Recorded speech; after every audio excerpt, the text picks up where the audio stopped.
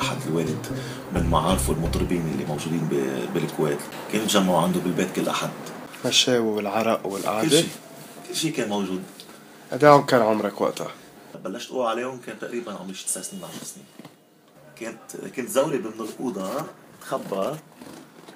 ونخي من تحت الكنبات قاعد أتفرج عليهم بالسهر أنت اللي كان عندك الحشرية شوف مش هن أسمع شوف شو عم بصير.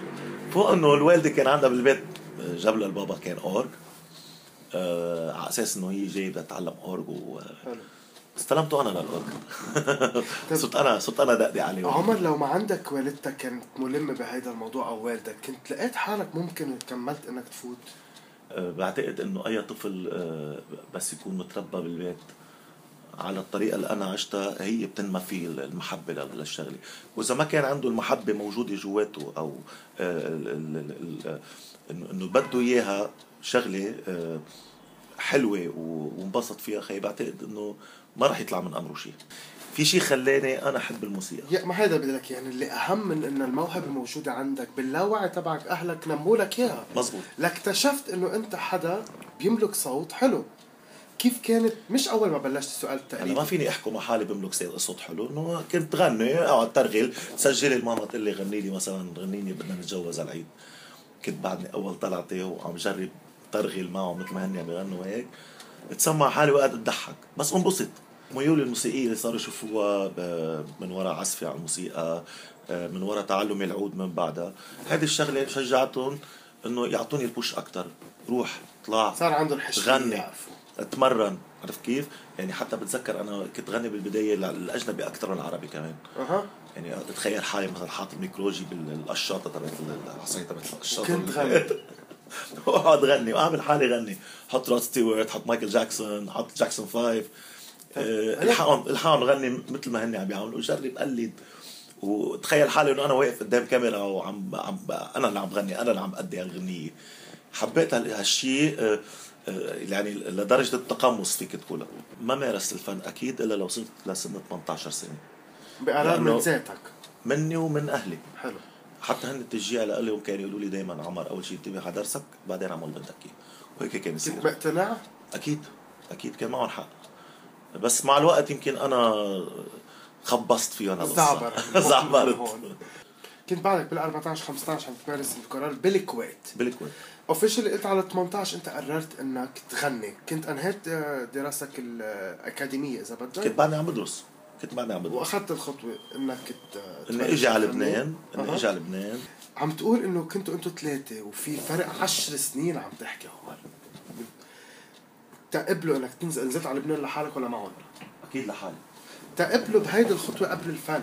الوالد هو اللي أعطاني ال push لنزلتي يعني الله يرحمه.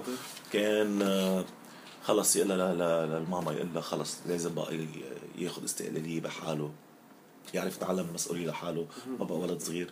آه، يعني لما جيت على لبنان جيت مأخر جيت بال 25 كان عمري 25 سنة تقريبا. آه فأنا لو ما الوالد يمكن ما كنت ما كنت بعدك. كنت بعدني بالكويت يمكن. نزلنا على لبنان. نزلت على لبنان. مش الحال.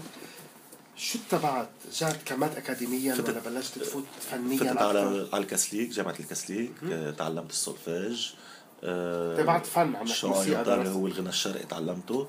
أكيد هذا كله بدراسة. كان معي أول شيء آه، دبلوم computer science. دبلوم computer science بس أنا ما كنت هالقد معلق فيها لل- لل- للشغلة. لأنه في الفن؟ لأنه في الفن انه هو حاطط ال target لإلي أنا. حسيت حالك شبعت علم؟ لبلطات عم تكمل. آه، شفت حالي إنه أنا بق- بقدر كمل لحالي. آه، الدرس اللي اللي أخذته هو بكفي ما بدي أكثر من هيك. لأنه ما كنت حاطط براسي إنه آه، إنه أدرس موسيقى لدرسها. آه أوكي. آخذ الموسيقى لإلي. وقدمت حتى بوقتها على استوديو الفن ب 96 97 صح اللي كانت على الفئه الطربية العربية. ووقتها أخذت المركز الخامس. هلأ هذه شغلة بزعل منها لأنه أنا بعتقد إنه كنت بستاهل أكثر بصراحه بصراحة بقول لك إياها قالوا لي بنقدم لك واسطات اللي بدك اياه بس أنا كنت أرفض كنت أقول لهم أنا حابب أعتمد على حالي بس أنت عارف إنه بعتقد غلطة هيدي يمكن. أنا عارف إنه عايش بلد الوسط مش عم. بحكي شيء سر هاي معروف بكل الطرق إنه نحن ببلد بس أنا تربيتي. بالبيت تربيتي بالبيت والطريقة اللي جيت فيها على لبنان إنه بدي أبني حالي بحالي مبسوط بحالي لأنه عملت أشياء من بعدها أثبتت وجودي أكثر من أي فن أي فنان أو أي شاب آه، وصبي يطلعوا معي بال مجرد. مرورك إذا بدك بمدرسة سيمو أسمر فادت ضرت ما ولا كأنه انوجدت لو آه، المرتبه الخامسه أعطتني شيئا ما. يمكن فيك تقول إنه آه، أعطتني شوية خبرة أعطتني شوية علاقات آه، علمتني شوي كيف درب الفن إنه منه هين. بدك تاخده آه، آه، بتفكير عميق مش مش بس تطحش طحش إنه خلص رح تصير مطرب رح تصير فنان.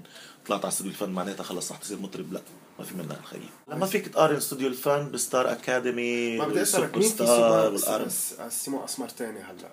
ما في ما في. سيمو أسمر كان آه، يعني آه، يلي ساعده بعتقد أكثر ما كانش في الفضائيات الموجودة هلأ وكثرتها ما بالعكس كانش كان صعوبة عليه أكثر إنه إيه؟ هالقد. إيه إيه. كان في صعوبه أكيد. بس بس ما- زال في تركيز على الفنانين اللي اللي نتجهم من استوديو الفن وأعطاهم حقهم مزبوط بعتقد يعني مش ضروري شهادتي مجروحة فيهم. يعني أنا هلا بس تقول لي مثلا بحفلة آه، تعتمد بسهرة كاملة على فنان واحد وناس العالم تيجي تسهر عليه. لهالفنان الشخص الواحد بالسهرة كلياتها أنا هيدي بعتقد السهرة فاشلة. ما بقى في منها مش. ماشي. لا. ليش؟ لا لا. بدل صار, العالم- صار بدل العالم التنوع. مم. بطل العالم تقدر تستحمل مثلا غنية طولها ربع ساعة 16 أو مطرب يغني له كل أغانيه كل السهرة. لا بدك تشكل له عمر حمدان مرحبا. نحن هلا كنا عم نحاول قبل مين هو عمر حمدان؟ هلا لو وصلنا لعمر حمدان. عم نعمل مقابلة نحن إذا بدك. أو دردشة تما نحمل هالمعنى الثقيل لكلمة المقابلة.